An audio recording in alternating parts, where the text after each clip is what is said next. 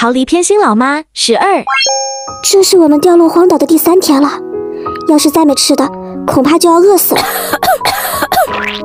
米糍姐姐，你怎么吐血了？应该是旧病复发了吧，没什么大事的。不行，糯米糍姐姐要是真有什么事，小贝就成孤儿了。等着，小贝去找食物。小贝，这块石头上居然长着几个蘑菇，但我好像记得老师说过，外面的蘑菇都是有毒的，不能乱吃。哎，再去别的地方看看吧。嗯。咦，好香啊！只要能把那锅肉给抢来，我们就不会饿死了。对不起了，前面的那位，为了生存，小贝一定要狠下心来，对你痛下毒手。啊！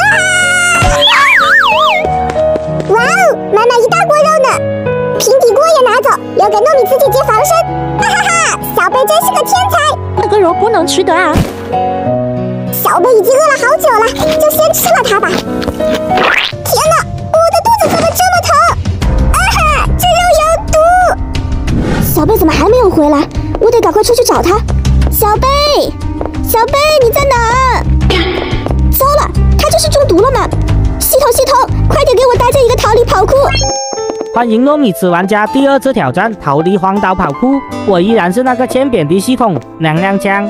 系统，这次你能不能不要耍赖皮，让我成功的逃离这里呀？为你说话要凭良心，我什么时候耍过赖皮啊？我的妹妹小贝现在中毒了，我得送她去医院呢。哼，你的妹妹中毒关我系统什么事？反正我就是不给你喷气，背包也不让你通关。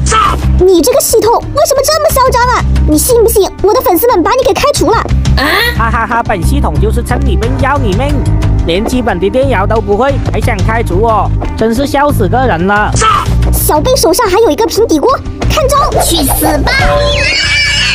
好家伙，你居然把本系统的鼻子给打流血了！